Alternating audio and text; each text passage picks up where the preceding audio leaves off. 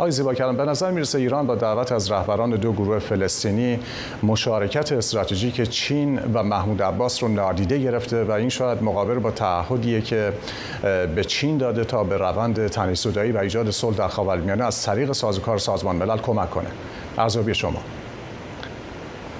نام و یاد حضرت حق ببینید اینجوری نیست که به واسطه حالا پیمانی که نزدیکی که توافق استراتژیکی که میان ایران و چین به وجود آمده ما انتظار داشته باشیم که یک تغییر 180 درجه در سیاست خارجی جمهوری اسلامی ایران به خصوص در رابطه با فلسطین به وجود بیاد.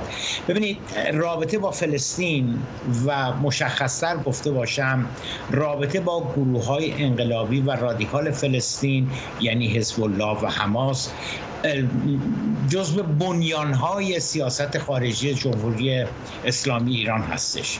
دقیق تر اگه خواسته باشم خدمتتون عرض بکنم شعار نابودی اسرائیل یکی از بنیادی ترین ستونهای سیاست خارجی جمهوری اسلامی ایران هستش. یکی از اهداف و آرمانهای انقلاب اسلامی هستش. من حقیقت شو خیلی بعید به نظرم می‌رسه که روابط با چین انقدر به اصطلاح از حساسیت برای جمهوری اسلامی ایران برخوردار باشه که جمهوری اسلامی ایران بیاد و رابطش با حماس و حزب الله رو به صورت سرد یا به صورت تعلیق نگه داره.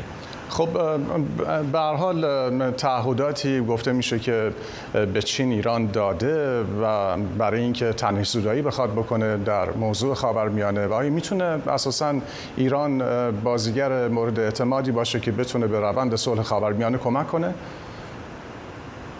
ببینید ایران هیچ وقت از روند صلح خاورمیانه پشتیبانی نکرده.